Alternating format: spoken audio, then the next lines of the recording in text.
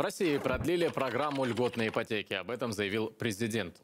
Теперь жилье в новостройке по сниженной процентной ставке можно будет приобрести до 1 июля 2022 года. Однако сама она, эта ставка, вырастет. Вместо нынешних 6,5% будет 7%. Приобрести жилье, говорят эксперты, будет немного проще. В последние месяцы квартиры в нашем городе подешевели. Но сильно на рынок недвижимости продление ипотеки не повлияет.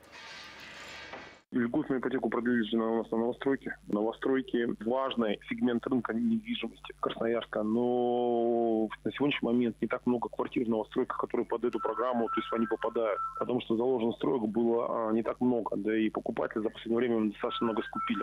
Поэтому говорить о том, что это сильно повлияет на рынок недвижимости, на цены, я не думаю.